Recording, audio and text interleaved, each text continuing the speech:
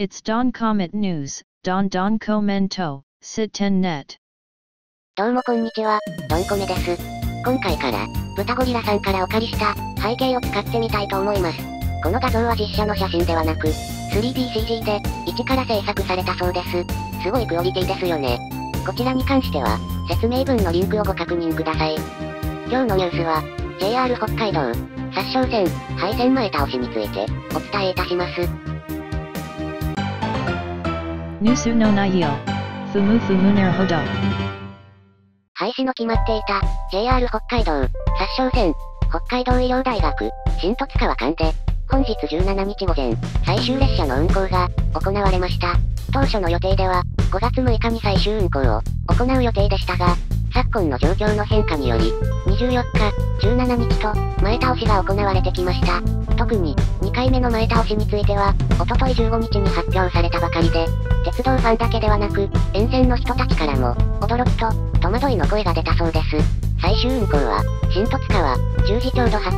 石狩東別駅。これ以降の、浦臼、石狩月方発着の、列車については、運休となり、午後の運行も行われません。終点の新十津川駅では、200人余りの町民たちが、集まり、100人を超える乗客が降り立ち、新十津川町の熊田町長から、担当運転士に、感謝を込めた花束の贈呈が、行われました。2016年のダイヤ改正から、末端部は1日1往復にまで、減便していた殺傷線は、こうして、多くの鉄道ファンと沿線の、人々に見送られ、85年の歴史に、幕を閉じました。なお、札幌から、北海道医療大学までの、電化区間については、学園都市線として、今後も運転を継続していきます。ここに注目。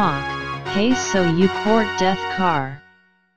さて、突然の最終運行となってしまった、殺傷線、非電化区間、路線の歴史や、これまでの経緯については、他の方が動画にしていると、思いますので、今回は、私の個人的な思い出について、お話ししたいと思います。実を言うと、私は殺傷線に乗ったことがありません。先ほどの写真は、2016年9月に、新十津川駅を訪れた時に、撮影したものですが、この時はレンタカーでした。というのも、当時すでに、浦臼から新十津川間が、1日1往復になっており、しかもその時間が、現在よりも少し早い時間で、列車で札幌から向かうなら、6時台に出発する必要がありました。ちょうど当時、北海道に3連続で、台風が上陸した直後で、予定していた宿や、旅行先を急遽変更するなども行いました。そのような状況だったので、新十津川は、駅に立ち寄るだけにしようということになり、ホテルからは別のスポットに、立ち寄って、ゆっくりと向かうことになりました。ちなみにその日は、富良野のホテルに泊まっていました。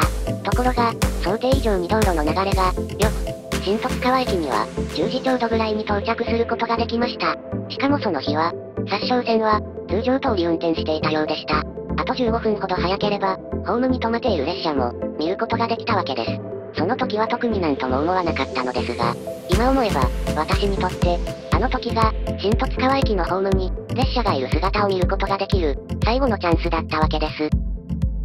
皆さんは、殺傷戦に関する、思い出は、ありますでしょうか？電化されたのは2012年と、比較的最近であり、3両、4両のディーゼル車が、札幌のビル街へ、突っ込んでいく姿を、見ていた方も、いるのではないかと思います。その頃の札幌駅で、写真を撮ったこともあったはずなのですが、当時はあまり意識せず、ほとんどディーゼル車両の写真を撮っていませんでした。いつでも見れると思っていたものが、こうして唐突に消えていくことを知ると、儚いものがあります。もしよろしければ、そういった思い出話などを、ぜひ、コメントしていただけたらと思います。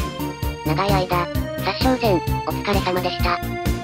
それでは今回は、この辺で失礼いたします。ご視聴、ありがとうございました。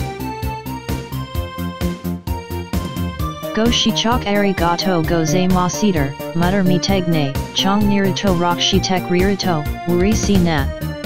Thank you for watching. See you again. Bye bye.